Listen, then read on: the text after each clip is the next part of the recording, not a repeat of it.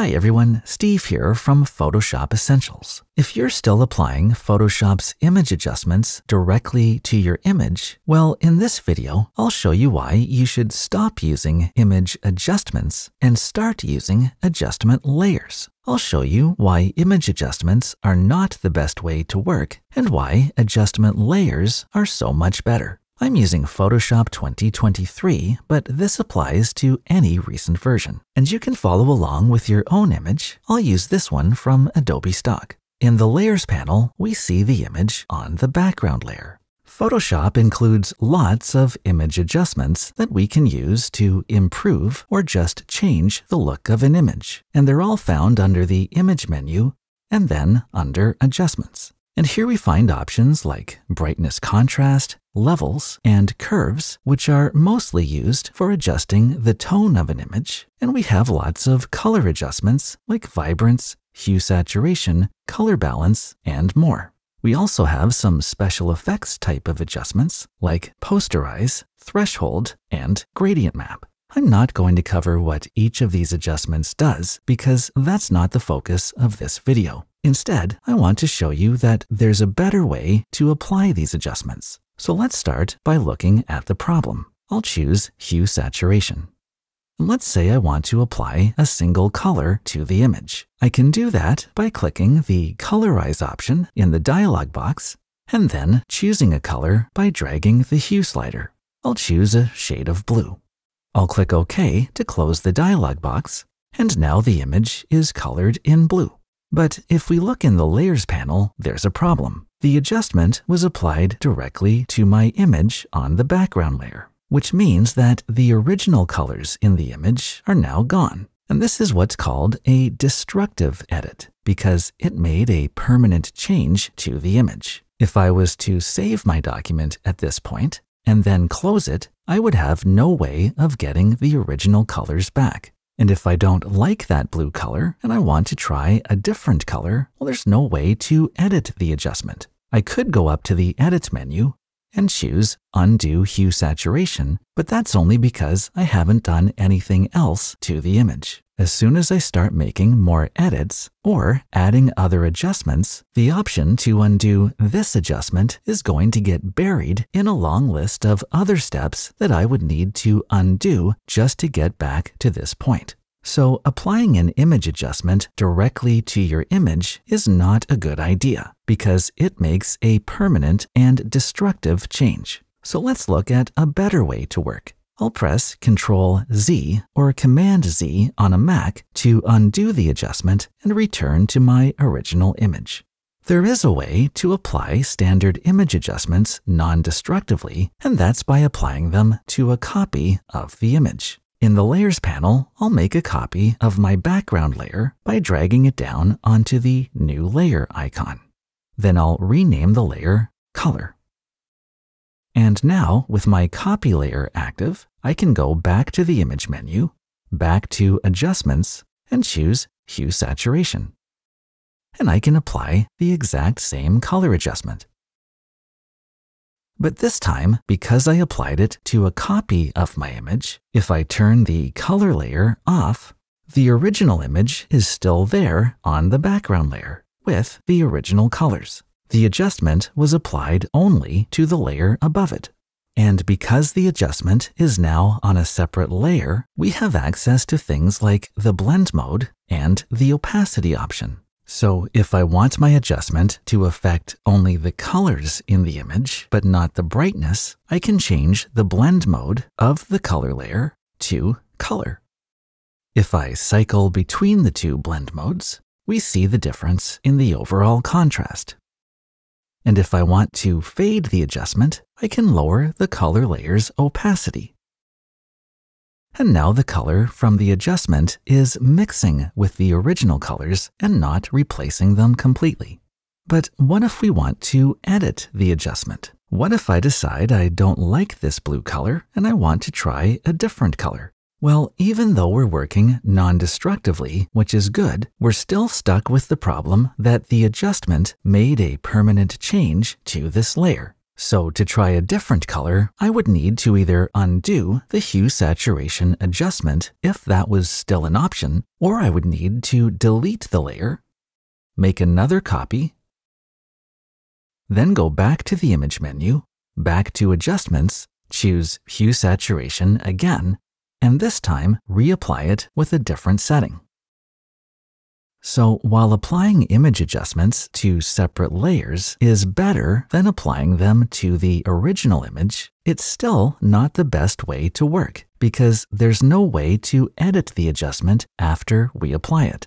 And there's one more issue we need to look at before we move on. If you look down in the lower left of the document window, you'll see a status area with information about your document. And if you click the arrow, you'll see all the different types of information that you can display.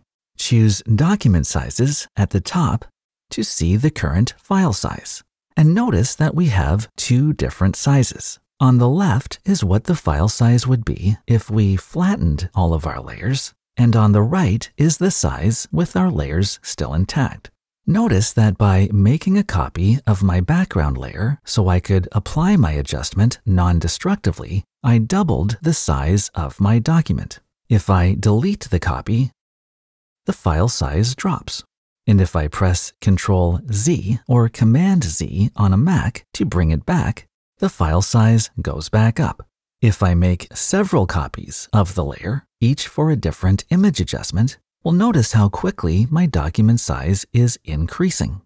If you're on an older computer and working with high resolution images, too many layers can start to slow Photoshop down.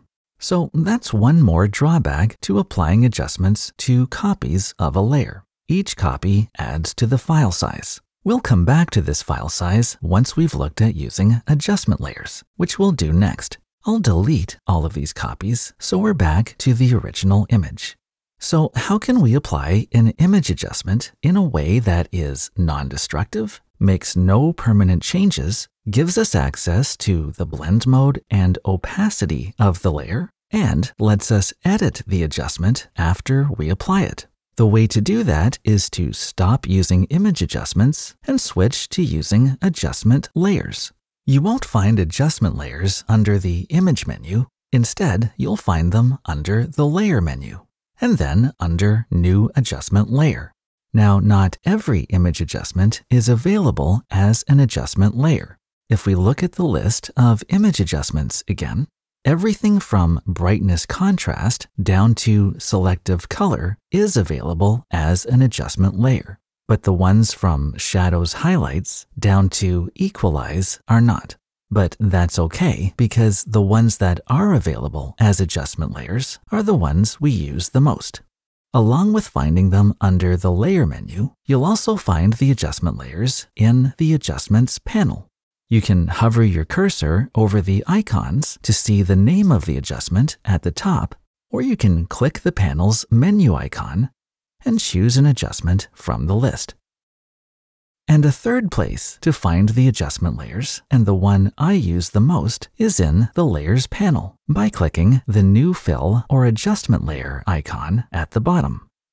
The first three options at the top are not adjustment layers. They're what's called fill layers because they will fill the document with either a solid color, a gradient, or a pattern. The adjustment layers are found below them. I'll choose the same adjustment as before, which was hue saturation. Photoshop adds a hue saturation adjustment layer above the image. Unlike standard pixel layers, which display a preview thumbnail showing the layer's contents, adjustment layers display an icon depending on the type of adjustment. In this case, it's a hue saturation icon. And instead of a dialog box popping up, the settings for an adjustment layer appear in the Properties panel. So I can apply the same color effect as before by choosing Colorize, and then choosing a color by dragging the hue slider. Back in the Layers panel, I can turn the adjustment layer off to see the original image below it, which means we're working non-destructively and with the adjustment layer back on, we have access to the layer's blend mode and opacity. so I can change the blend mode to color just like I did before. And I can fade the adjustment by lowering the opacity. The one thing we could not do earlier was edit the adjustment after we applied it. But with adjustment layers, we can. Just make sure the adjustment layer is selected and then go back to the Properties panel and make whatever changes you need. Notice that adjustment layers also include a built-in layer mask. So if you select your adjustment layer in the Layers panel, and the Properties panel is showing options for the mask, not the adjustment, it's because you have the layer mask selected. To switch to the adjustment options, either click on the adjustment icon on the adjustment layer itself, or in the Properties panel, you can switch between the adjustment options and the mask options using the icons at the top. We can use the adjustment layer's mask to control which areas of the image below the adjustment layer are affected. So if I want the background behind the woman to be colorized, but not the woman herself, I just need to select her. And in Photoshop 2023, one of the best ways is with the Select Subject command. In the toolbar, I'll choose either the Object Selection tool, the Quick Selection tool, or the Magic Wand tool. Each one gives me access to the Select Subject button in the options bar. But before I click it, I'll click the arrow and I'll choose the new Cloud option, which runs Select Subject on the cloud for better results. This option was first added in the August release of Photoshop 2022 and has been carried over into Photoshop 2023. Then I'll click Select Subject.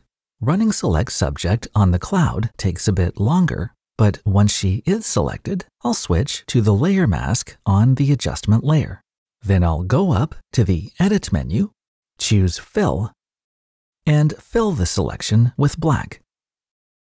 I'll remove the selection outline, and now the adjustment layer is affecting only the background. The white part of the mask is where the adjustment is affecting the image below it, and the black area is where the adjustment is hidden. Of course, you can always add a layer mask to a copy of the image, but adjustment layers include them automatically. Another advantage with adjustment layers is that you can add multiple adjustments and each one remains separate. I'll click the new fill or adjustment layer icon again, and this time I'll add a levels adjustment.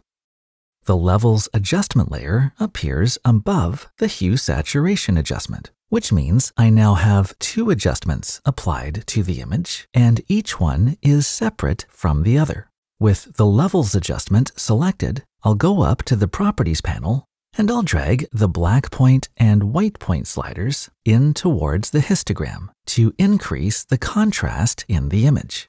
I can turn the Levels adjustment layer on and off to compare the result without affecting the hue saturation adjustment. And I can do the same thing with hue saturation without affecting the levels adjustment above it. Finally, let's go back to that file size issue we looked at earlier. Remember how, with each copy of the image layer we added, we saw a big jump in the document's file size? Well, notice that even with two adjustment layers added, the size of my document with the layers is only slightly larger than the size it would be if we flattened the layers. In fact, if I add a few more adjustment layers, I'll just choose a few random ones. The file size is not increasing at all. So if you're on an older computer, using adjustment layers will not slow Photoshop down. And there we have it. If you're still using image adjustments, well, hopefully I've convinced you that adjustment layers are the better and more flexible way to work.